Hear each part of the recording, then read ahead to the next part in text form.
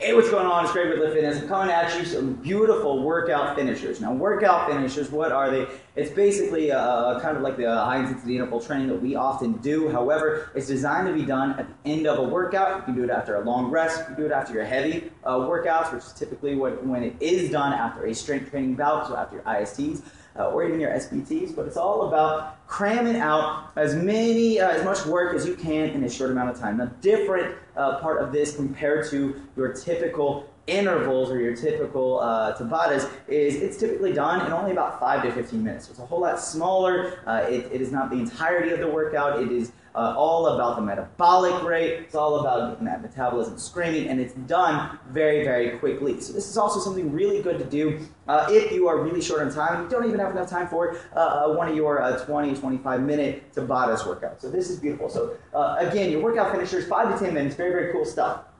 I'm going to explain just a little bit about uh, the different kinds of workout finishers and the main kind of focuses that you have here. Uh, it's all outlined. Now, before we get into that, workout finishers are not for everyone. It's definitely tough. Uh, and just like all the, the, the most things out there, uh, unlike uh, dark chocolate, delicious, uh, and episodes of Family Guy, it should be done in moderation. So you don't want to do it every time. You need to give yourself a little bit of rest because in between uses, so um, give it no less than uh, uh 24 hours, uh, and definitely even longer, a couple days. Uh, so really use in moderation. Don't do it every after every workout, or else you're going to burn yourself out. It's going to lead to an overuse injury. So you do want to be careful. Um, just like uh, with a Tabatas, it's done in spurts. So if you did that stuff over and over and over again, you are probably getting hurt.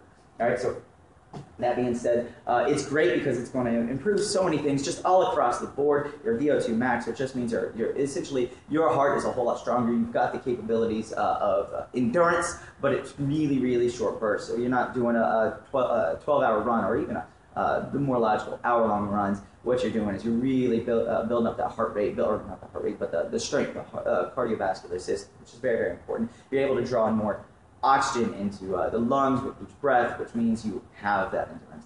Uh, you're also building up lots and lots of great strength. Uh, and it's, it's just all across the board, pretty much awesome. So uh, again, here's your workout finishers. Uh, they're basically set up in uh, reps for time. This is how, how we typically do it. So the time base is what our Tabatas is typically done. So we'll go ahead and start right there.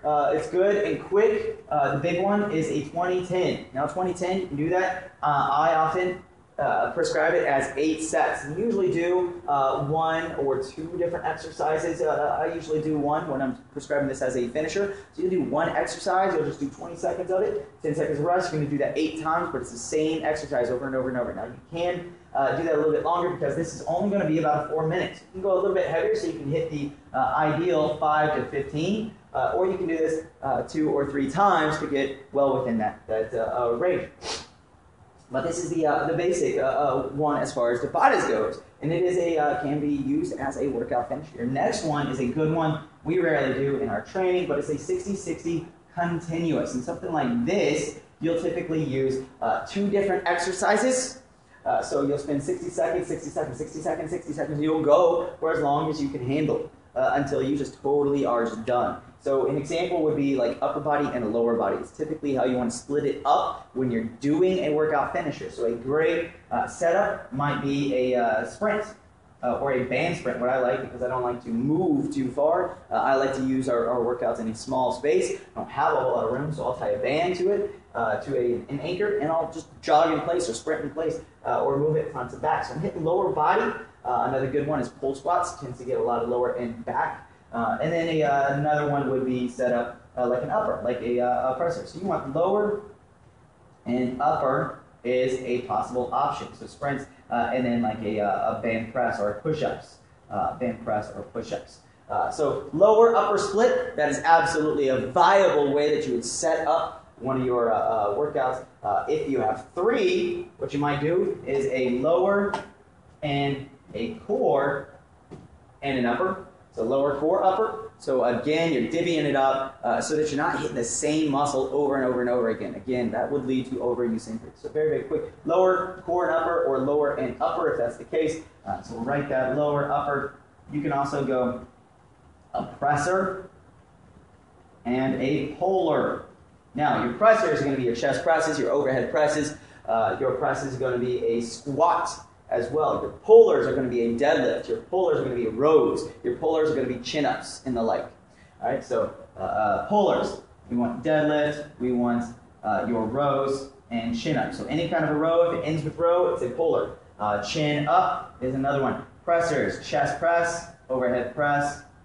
Uh, so push up is also a chest press. Your overhead press, and then finishing all up with your squat is a presser as well. So that's typically how you'll divvy it up. Again, if you have three, then you'll throw in a core. If you have four, then what I would do is lower upper, lower upper, or a presser puller, presser puller, something along that. But you won't usually get into four exercises. The whole goal of a workout finisher is to be simple uh, and to just provide a totally kick butt workout in minimal time.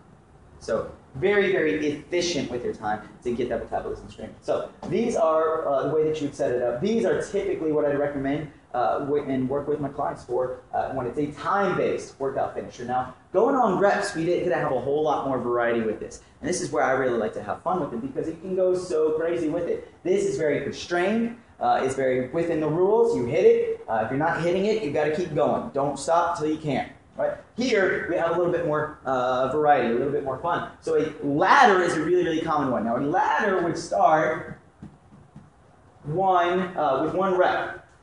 This is typically done with two or more exercises. I often do this with three, but to keep it with simplicity uh, purposes, let's go back to uh, our push-up exercise uh, and our sprint.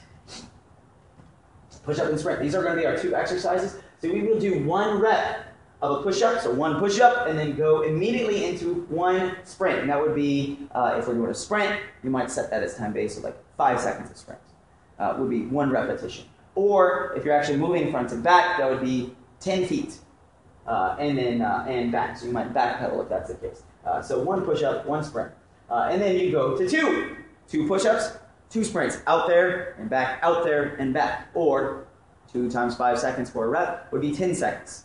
Uh, then you go three, four, five, six, all the way up to 10 until you're doing 10 push ups and 10 times that sprint. You do the math, you're actually doing 100 reps. So it really loads it up. If you're really crazy, then you start descending as well. So you can do the ascending, and then you can do the descending, which starts at 10 reps and goes down to one. I prefer the ascending because it really loads up the heavy rep at the very end, and I like that big challenge, that big push. Or you can go both, which is ascending, descending. You're going to build from 1 all the way to 10 and then bring it back down. So 1, 2, 3, 4, 5, 6, 7, 8, 9, 10, 9, 8, 7, 6, 5, 4, 3, 2, 1. And then you're hitting about 190 reps. It's freaking awesome. And that's per exercise. It will light you up. This will take about 10 minutes, maybe a touch longer, depending. So plus or minus a little bit. So your ladders, those are beautiful, beautiful progressions. You can do that. Sets, your rest pause. So basically you have a set number of sets that you want to hit. I want to hit 10 sets of this. You don't, you're not thinking so much about reps.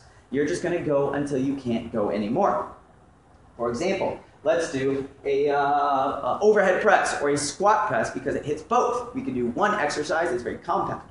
I'll give you the exercise to do, but we'll say push press. So you're squatting down, push it up overhead. So you got dumbbells, boom, boom, boom. So we're gonna go with whatever weight we've got. Maybe it's heavy, maybe it's light. We're gonna go until we can't go anymore. So ideally, probably a little bit heavier is going to be a little bit better for this one. I'll explain a little bit more for your finishers, but we hit, mm, let's say 25. We're able to crank out 25, and then we can't go anymore. So we pause. We pause for as long as we can, uh, up until no longer than about 30 seconds. And then we go again until failure. And then again, pause, and then we go until failure. So first set, we hit 25. Second set, we may be hitting uh, like 15. And let's say our goal sets is 10. So there's two sets there. Next set, we're going to hit maybe 10. Uh, after that, we're hitting like eights, sevens, and then sixes, and sixes, and sixes, and sixes, and then we hit five for the final set. So you're not hitting nearly as many reps, uh, but uh, you are nailing lots and lots of sets. And you're just taking about 30 seconds of rest in between each set to keep it going. So sets are a rest pause setup. Wait focus. I love these because the reps, uh, again, you're going to have high reps, uh, but the focus uh, and the change that we're, uh, the variable we're changing is the resistance uh, here. So we're changing the number of reps here. We are, are uh, changing the number or the amount of resistance here. So this is really important. You got to have like, lots of weights for this in this case. So let's say we're doing Uh, perfect one. Let's go back to that push uh, push press setup. Let's start it all off with 25s. We're going for burnouts. Now, burnout is you're gonna, uh, or run the rack. It's, it's uh, called both. You're gonna start with those 25s. You're gonna do as many as you can. Let's say we hit those 25, and our shoulders are shot. We're tired. We put the weight down. We immediately pick up the next pair of weights. So that would go 25s down to 20s typically, and do as many of those. When you are tired, you can't do anymore. Oh man, and form is starting to suffer. You put that down. Grab a lighter weight uh, up and down, up and down, until you get at least four for the big major muscle groups, uh, which are uh, the chest, the backs, the quads, and the, the booty,